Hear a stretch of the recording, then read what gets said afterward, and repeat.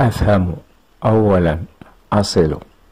لأمي قفطان لأبي طربوش.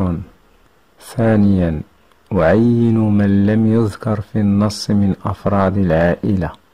هل هو الجد الجدة العم الأم الأب الخالة الحفيد؟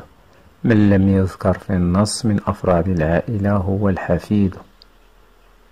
ثالثا من أحضر الأكلات الآتية. البريوات الخالة البغرير الجدة.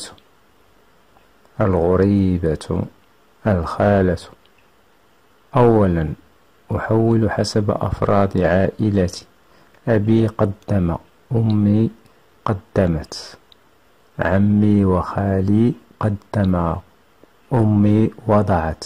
أبي وضع عمي وخالي وضعا عمي وخالي فرحا أبي فرح أمي فرحت.